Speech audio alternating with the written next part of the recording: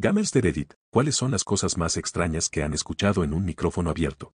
Se estaba llenando de insultos por parte de un niño fácilmente alrededor de los 5 o 6 años. Literalmente decía, vete a la mierda, maldito cabrón. Espero que Satanás te viole el culo y suspluye entre en tus ojos de mierda, estúpido cabrón. Así que empezamos a insultarlo con todo lo que teníamos. Como que lo hicimos llorar, luego su mamá toma el micrófono y comienza a gritarnos. Nos dice que le estamos dando un mal ejemplo a su hijo y que no deberíamos usar ese tipo de lenguaje con alguien de su edad. Así que nos fuimos con ella también. Le explicamos que su hijo estaba siendo un grosero de mierda. Ella comenzó a gritarnos diciendo que su hijo puede hacer lo que quiera. Así que dijimos que si él va a decir mierda como un adulto, entonces le van a responder mierda como si fuera un adulto. Ella se enfada aún más. Esta es la mejor jodida parte, todavía me estoy riendo de esto.